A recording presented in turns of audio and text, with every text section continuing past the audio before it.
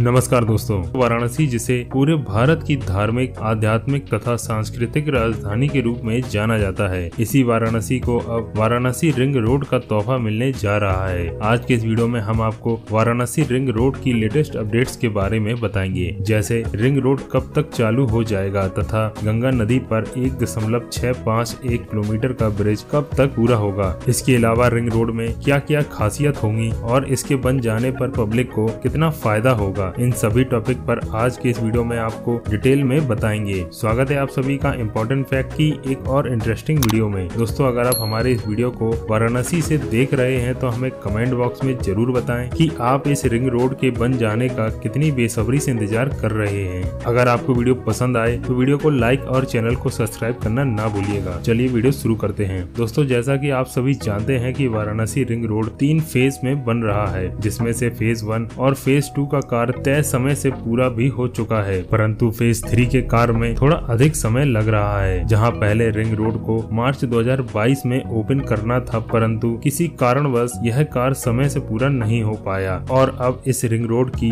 एक लेन को नवंबर 2022 तक ओपन करने का लक्ष्य बनाया गया है। इस बड़ी मियाद के दरमियान गंगा नदी पर बन रहे फोर लेन पुल का वन वे बनकर तैयार हो जाएगा। इसके बाद वाहन इस वन वे से फर्राटा भर सकेंगे। हालाँकि संपूर्ण गंगा नदी पर पुल जो 1.651 किलोमीटर लंबा बन रहा है, उसका पूरा कार्य मार्च 2023 तक पूरा होने का अनुमान बताया जा रहा है। यह रिंग रोड राजा तालाब में कोलकाता से दिल्ली तक जाने वाले नेशनल हाईवे, हरुआ में वाराणसी, लखनऊ नेशनल हाईवे, लम्ही के आगे पांडेपुर मार्ग पर वाराणसी, आजमगढ़ नेशनल हाईवे और चिरई गाँव में वाराणसी, गोरखपुर नेशनल हाईवे को जोड़ेगा। वही चंदौली में लौंदा झांसी में नेशनल हाईवे में मिलने वाले रिंग रोड से चंदौली के साथ ही बिहार, झारखंड, पश्चिम बंगाल सहित पूर्वोत्तर के अन्य राज्यों से आने वाले वाहन भी इस रिंग रोड के ज़रिए शहर में बिना प्रवेश किए आजमगढ़, गोरखपुर, लखनऊ, जौनपुर, गाजीपुर के लिए आवागमन कर पाएँगे। इसके बाद भारी वाहनों को बिना शहर में प्रवेश किए गंतव्य तक जाना आसान हो जाएगा। वहीं शहर में भी इस रिंग रोड के बन जाने के बाद जाम की समस्या बहुत हद तक दूर हो जाएगी। करीब 29 किलोमीटर लंबा फ़ेज़ थ्री का कार्य तेज गति से चल रहा है। कार्यदायी